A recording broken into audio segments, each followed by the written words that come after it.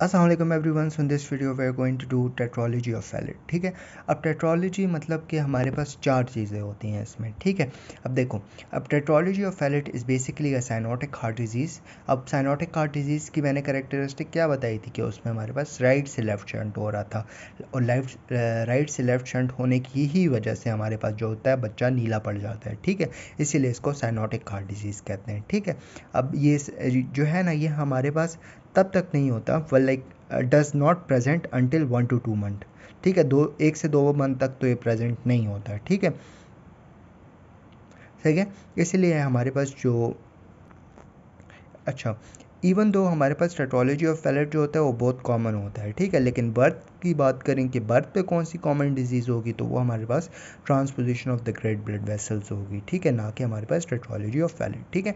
अब इसमें हमारे पास कुछ कंपोनेंट्स होते हैं, ठीक है? मैंने आपको बताया कि इसमें चार कंपोनेंट्स होते हैं, ठीक है? तो उसको याद करने के लिए आपने निमोनिक याद रखना है प्रूफ ठीक है? अब प्रूफ में इसी सीक्वेंस में आपने याद रखना है इसको, ठीक है? देखो, सबसे पहले आपका आ जाता है पल्मोनरी स्टिनोसिस ठीक है? पल्मोनरी स्टिनोसिस पल्मोनरी स्टिनोसिस के बाद होगा राइट वेंट्रिकुलर हाइपरट्रॉफी फिर आपका आ जाएगा overriding of the aorta ठीक है? और लास्ट में आपका आ जाएगा वेंट्रिकुलर सेप्टल डिफेक्ट ठीक है? क्या हुआ है? पहले आपका पल्मोनरी स्टिनोसिस हुई है, फिर राइट वेंट्रिकुलर हाइपरट्रॉफी हुई है, उसकी वजह से आपका राइट वेंट्रिकुलर हाइपरट्रॉफी की वजह से आपकी ओवर राइडिंग ऑफ़ आयोटा हो गया है, ठीक है? और एंड में आपका आ गया है वेंटिकुलर सेप्टल डिफेक्ट। अच्छा जी, अब मैं आपको पैथोफिजोलॉजी की बात बताता हूँ, ठीक है? देखो पल्मोनरी स्टेनोसिस हुई है मतलब पल्मोनरी स्टेनोसिस का मतलब यही होता है कि जो पल्मोनरी सर्कुलेशन है वैसे जो है वो हमारे पास पिचक गई है, ठीक है? पिचक गई है तो उससे ब्लड कम जाएगा, जब कम जाएगा तो राइट वेंट्रिकल की हाइपरट्रॉफी हो जाएगी। अब राइट वेंट्रिकल की जब हाइपरट्रॉफी होगी तो उसकी वजह से क्या होगा कि हमारे पास दो वेंट्रिकल के बीच में एक सुराख बन जाएगा वेंट्रिकुलर सेप्टल डिफेक्ट बन जाएगा।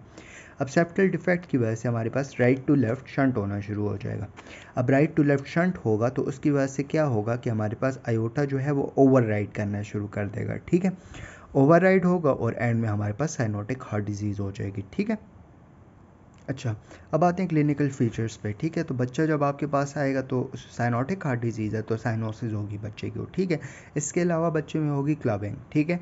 क्लबिंग होगी ठीक है? अच्छा क्लबिंग के बाद बच्चे में होगा डिस्पनिया ऑन एक्सर्शन ठीक है? मतलब कि जब बच्चा आ, कि कोई एक्सरसाइज करेगा या कोई ज़्यादा खेलेगा कूदेगा तो उसको सांस उसकी उखड़ना शुरू हो जाएगी, ठीक है? तो उस स्टेट में बच्चे को ये कहा जाता है कि तुम जो है वो स्क्वाट पोजीशन में बैठ जाओगे, ठीक है? तो उसकी वजह से आपका जो जो वीनस रिटर्न है ना सही है? आपके लोअर लिम से आपके हार्ट की तरफ़ वो कम हो जाएगा। जब वो कम हो जाएगा तो अल्टीमेटली आपके हार्ट पे ज़ोर कम पड़ेगा अल्टीमेटली आपके जो सिम्टम्स होंगे डिस्निया वगैरह होगा, वो इम्प्रूव हो जाएगा, ठीक है? इसके अलावा पेशेंट में सिस्टोलिक इजेक्शन मरमर होगा, ठीक है? अब सिस्टोलिक इजेक्शन मरमर क्यों होगा? क्योंकि पेशेंट में पल्मोनरी स्टेनोसिस थी। अब स्टेनोसिस ऑलरेडी स्टेनोसिस है, ठीक है? तो उसकी वजह से क्या होगा कि पेशेंट जब सिस्टली होगी मतलब जब वेंट्रिकल कंट्रैक्ट करेगा, ठीक है? तो उसकी वजह से आपका इजेक्शन मरमर बनेगा, ठीक है? इजेक्ट होगा ब्लड आपका एक वेंट्रिकल से दूसरे वेंट्रिकल में और एक मरमर मतलब एक एबनॉर्मल हार्ट साउंड प्रोड्यूस होगा ठीक है? अब वो जो है वो हमारे पास थ्रिल भी हो सकता है और हाइफ भी हो सकता है ठीक है? अब थ्रिल जो होता है वो होता है अच्छा अब थ्रिल तो आपको इसी तरह सुनाई दे देगा और हाइफ जो होता है वो आप ऐसे लेफ़्ट स्टर्नम पे जब आप रखोगे ना आ, हाथ तो वो आपको फील होगा ठीक है? इसके अलावा एस टू साउंड जो होगा ना, वो हमारे पास सॉफ्ट हो जाएगा ड्यू टू पल्मोनरी स्टेनोसिस ठीक है?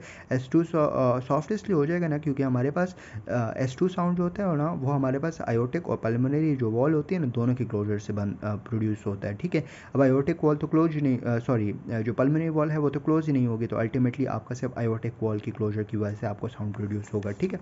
अच्छा जी, अब आते हैं इसकी डायग्नोसिस पे, ठीक है? अब डायग्नोसिस में हम सबसे पहले इन्वेस्टिगेशन करेंगे ना तो कुछ जनरल इन्वेस्टिगेशन होती हैं, और फिर स्पेसिफिक इन्वेस्टिगेशन इन्वेस्टिगेशन होती हैं, ठीक है?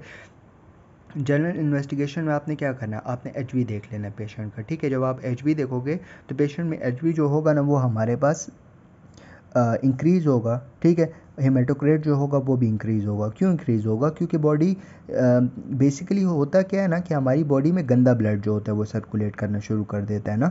जब वो गंदा ब्लड सर्कुलेट करता है तो बॉडी ये समझती है कि बॉडी में ब्लड ही कम है, ठीक है? तो अल्टीमेटली वो कोशिश करते हैं कंपनसेटरी हाइपोक्सीमिया उसको कहते हैं कि वो कोशिश करते हैं कि वो ज़्यादा से ज़्यादा ब्लड बनाए तो एचबी भी ज़्यादा, आपका हेमेटोक्रेट भी ज़्यादा, आपका आरबीसी भी ज़्यादा है ठीक है? जिसकी वजह से पेशेंट में पोलिसाइथीमिया होता है, ठीक है?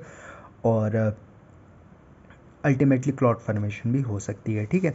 एक तो आपने जनरल इन्वेस्टिगेशन की, जिसमें आपका सीबीसी किया, जिसमें आपका एचबी और आर बी सी हेमेटोक्रेट ये चीज़ें ज़्यादा हो गई हैं, ठीक है? जब आपने स्पेसिफिक इन्वेस्टिगेशन किया तो आपने चेस्ट एक्सरे किया है। अब चेस्ट एक्सरे में आपको बूट शेप हार्ट मिला है ठीक है? एक तो बूट शेप हार्ट है ठीक है? इसके अलावा जो लंग्स की फील्ड्स होती हैं ना वो हमारे पास रिड्यूस्ड हो चुकी होंगी ठीक है? Due to reduced pulmonary flow ठीक है? पल्मोनरी फ्लो कम है पल्मोनरी फ्लो कम होने की वजह से जो लंग्स की जो मार्किंग थी और जो लंग्स की फ़ील्ड थी ना वो हमारे पास लॉस्ट हो चुकी है ठीक है? अच्छा जी इसके अलावा आपने ईसीजी की ईसीजी में Um, क्या होगा? राइट एक्सेस डेविएशन होगी। ठीक है? राइट साइड पे एक्सेस डेविएट कर जाएगा, क्योंकि ऑबनॉर्मेलिटी ऑब्वियसली राइट साइड पे ही है। ठीक है? इको करेंगे, वो हमारे पास गोल्ड स्टैंडर्ड होता है। जो भी हमारे पास जो फाइंडिंग्स होती है ना, वो हमें इको में मिल जाती हैं। ठीक है? इसके अलावा हम लोग कार्डिक कैथेटराइजेशन और एंजियोग्राफी करते हैं तो उससे भी हमें ये, जितनी भी हमारी अपनॉर्मेलिटीज़ होती है ना टेट्रोलॉजी ऑफ़ फेलेट में, ये हमें पता लग जाता है। ठीक है? तो आपने क्या की है? जनरल इन्वेस्टिगेशन जिसमें एच बी और आपका आरबीसी ज़्यादा हो गया। स्पेसिफिक में आपने chest x ray ECG echo और कैथेटराइजेशन और एंजियोग्राफी की है, ठीक है? अब हार्ट में बेसिकली आपने यही तीन इन्वेस्टिगेशंस मोस्टली आपकी डिज़ीज़ में होंगी। चेस्ट एक्सरे है ईसीजी है और इको है, ठीक है? अब आते हैं इसकी मैनेजमेंट पे, ठीक है? मैनेजमेंट में आपने क्या करना है टेट्रोलॉजी ऑफ़ एलिट में? देखो, सबसे पहले आ जाते हैं जनरल मैनेजमेंट ठीक है? जनरल मैनेजमेंट में आपने क्या करना है, देखो, सबसे पहले आपने पेशेंट को हाइड्रेट कर लेना है, ठीक है? हाइड्रेट कर लेना है, सही है? हाइड्रेशन दे देनी है उसको प्रॉपर आपने। उसके जो है वो टेम्परेचर उसका आपने मॉनिटर रखना है, ठीक है? मेंटेन रखना है, ठीक है? ना बहुत ज़्यादा हो जाए, ना बहुत कम हो जाए, ठीक है? ऐसा होगा कि अगर आपका टेम्परेचर बहुत ज़्यादा हो गया तो ऑक्सीजन कंजम्पशन ज़्यादा हो जाएगी, ठीक है?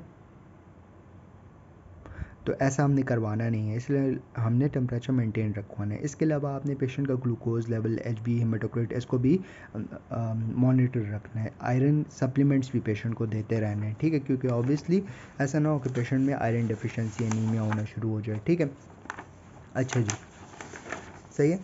तो पहले आपने हाइड्रेट किया पेशेंट को, आपने जो है उसको मॉनिटर किया है ग्लूकोज वगैरह आपने उसको आयरन सप्लीमेंट्स दिए, उसका टेम्परेचर मॉनिटर किया है, ठीक है?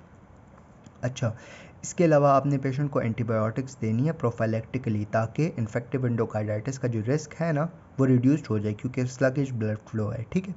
इसके अलावा आपने एक्सटेंड ट्रांसफ्यूजन्स और फ्लिबॉटमी ठीक है? ये भी आप करा सकते हो क्योंकि ऑब्वियसली पेशेंट में जो है वो पोलिसाइथीमिया और हम ये नहीं चाहते कि पेशेंट में पोलिसाइथीमिया और ज़्यादा हो जाए मज़ीद और पेशेंट में क्लॉट के बनने के